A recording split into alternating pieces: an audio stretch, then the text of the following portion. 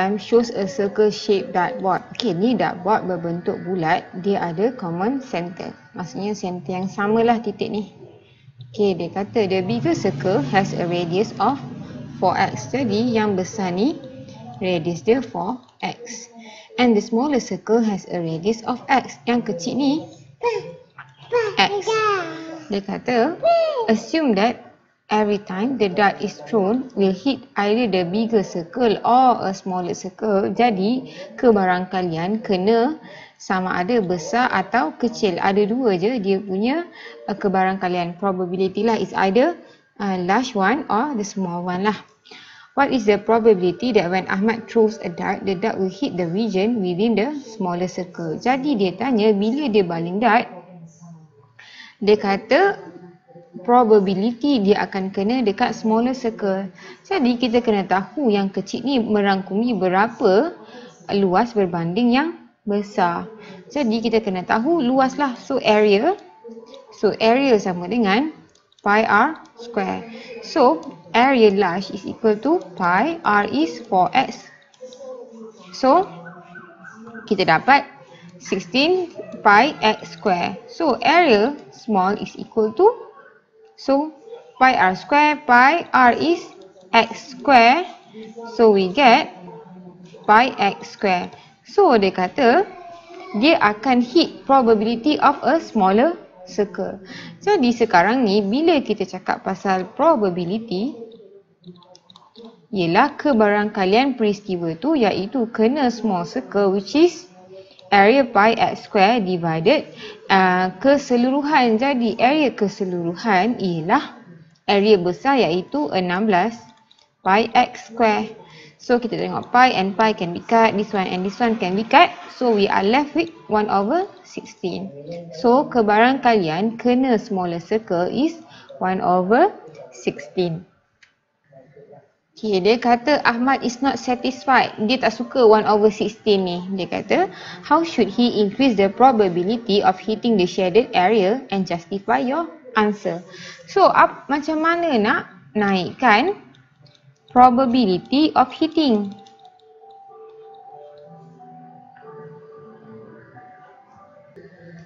Jadi, kalau dia nak naikkan probability, dia kena naikkan area shaded ataupun dia kena naikkan bila atas ni naik jadi probability akan naik. Betul? Bila atas naik probability akan naik. Jadi kena naikkan area shaded. So maybe dia boleh tambah circle kecil-kecil ke asalkan yang shaded ni naikkan area yang shaded.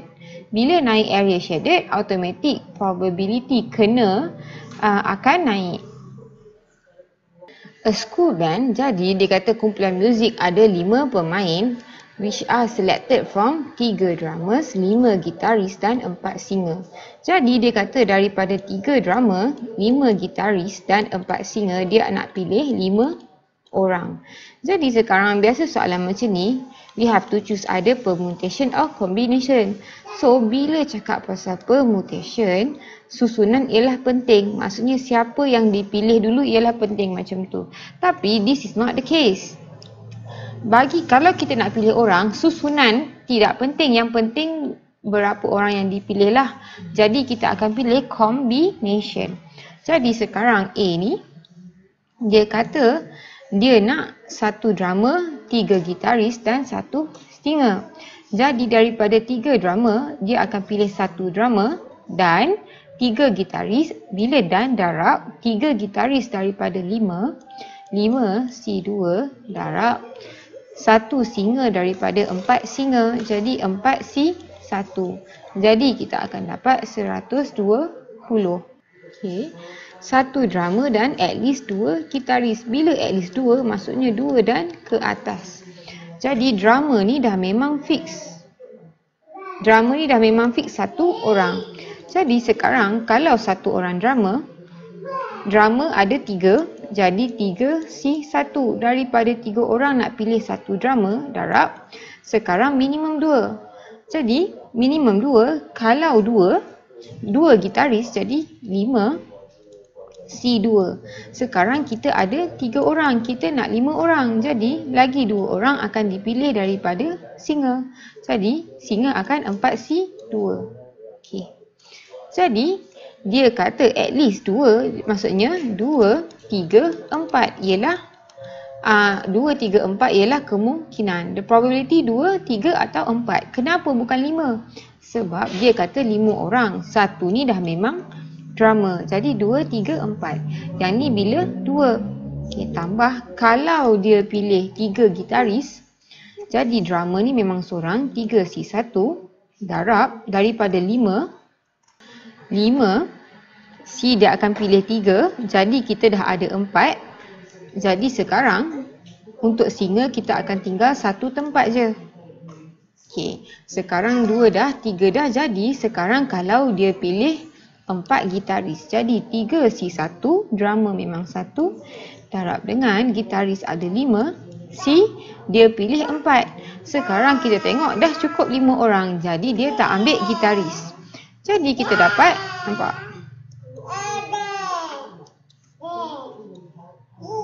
Sekarang bila tambah ni maksudnya oh atau. Jadi pilihan mungkin yang ni atau yang ni atau yang ni jadi atau tambah yang dan ni akan darab. Yang ni maksudnya bila darab ni dan kan satu drama dan uh, satu drama dan dua gitaris dan dua singer macam tu. Jadi kita akan dapat 315. Jadi sekarang ni kita tengok dah cukup 5. Jadi saya tak masukkan singa.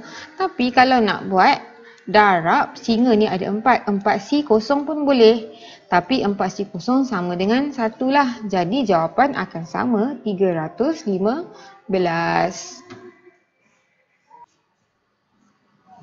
Okay, dia kata sekarang, dia kata diagram 7 shows the function shown in the diagram on the side represent the height of meter firework T second after launch. So dia bagi fungsi ni di mana fungsi ni ialah uh, kedudukan firework ni bunga api ni bila mercun ni bila kita uh, lepaskan dia lah dia kata point A is the origin and the firework exploded at the highest point. Jadi dia meletup dekat kedudukan tertinggi. Jadi kedudukan tertinggi maksimum point. Jadi dia kata at what height does the firework explode? Bila cakap pasal maximum point kita tahu dy over dx. Ini ialah maximum point di mana dekat maximum point dy bahagi dx sama dengan kosong. Jadi kita nampak bila cakap pasal maximum point bentuk dia macam ni. Ini ialah maximum point betul? Maximum point ni bila dia naik lepas naik dekat maksimum dia akan turun. Jadi kenapa kita panggil maksimum? Sebab bayangkan bila naik dy over dx, dy bahagi dx lagi besar dari kosong. Bila turun dy bahagi dx kurang daripada kosong. Jadi sebelum dia jadi kurang mestilah kena lalu kosong. Jadi dy bahagi dx sama dengan kosong. Sekarang kita ada dh. Sekarang kita ada h dia bagi h T sama dengan negatif 4T kuasa 2 tambah 32T. Jadi dekat maksimum height dia akan jadi dH per dt.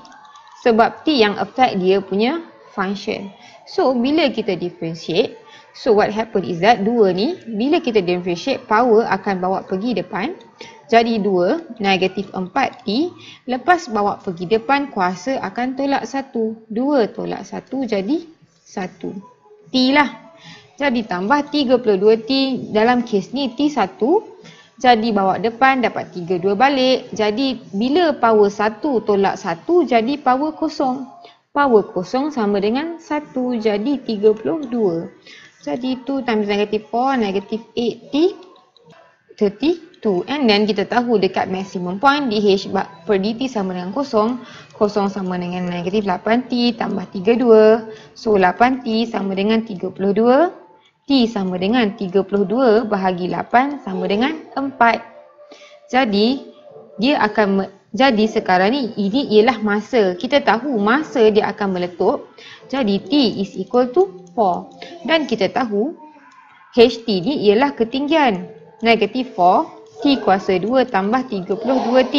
Jadi kita tahu maksimum point bila T sama dengan 4. Bila T sama dengan 4, HT sama dengan Malah lah.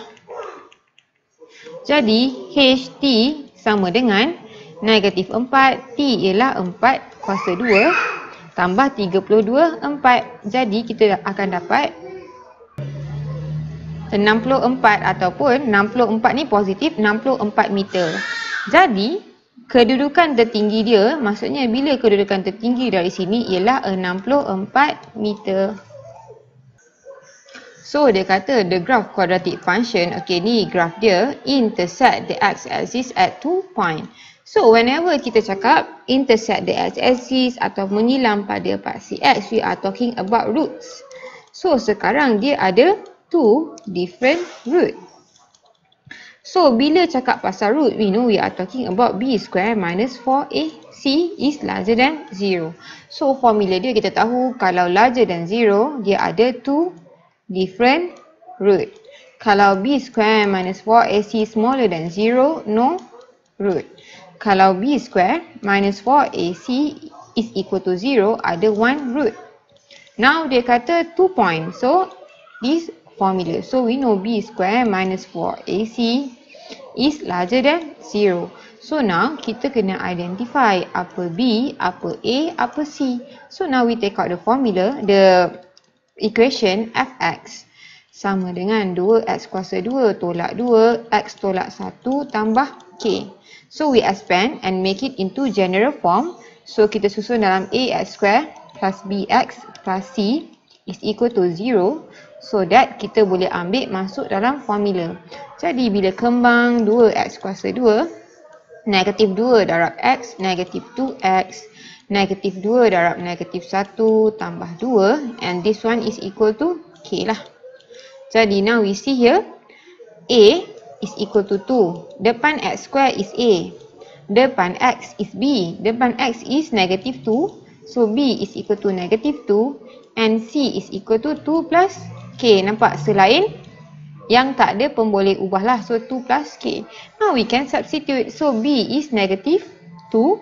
So negative 2 square minus 4. A is equal to 2 and C is 2 plus K is larger than 0. So negative 2 square we get 4 minus. Okay this one 4 times 2 times 2. 4 times 2 is 8. 8 times 2 is 16. So minus 16 And here, 4 times 2 is 8. 8 times k is negative. So, don't forget the negative. Negative 8k is larger than 0. So, here, so here we get negative 8k. So, 4 minus 16 is negative 12 is larger than 0. So, negative 8k is larger than 12. So, we move here to the back. Dia jadi positif.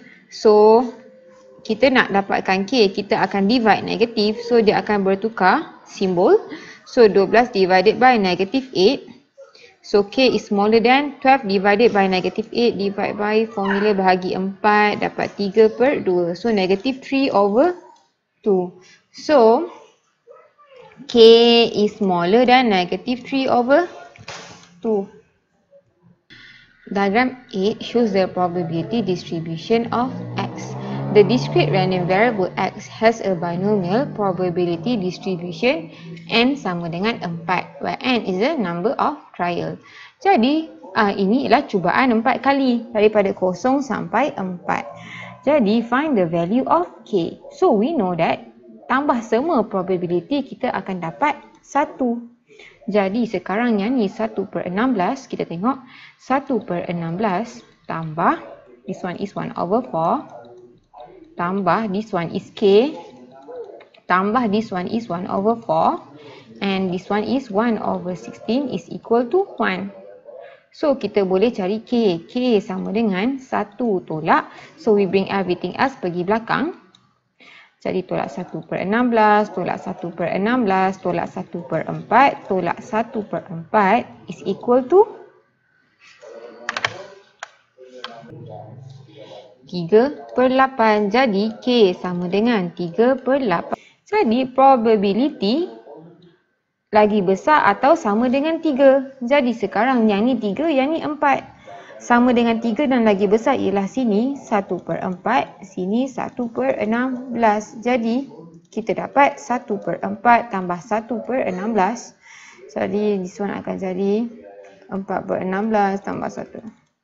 Jadi, 5 per 16. So, this is the probability which is 5 over 16.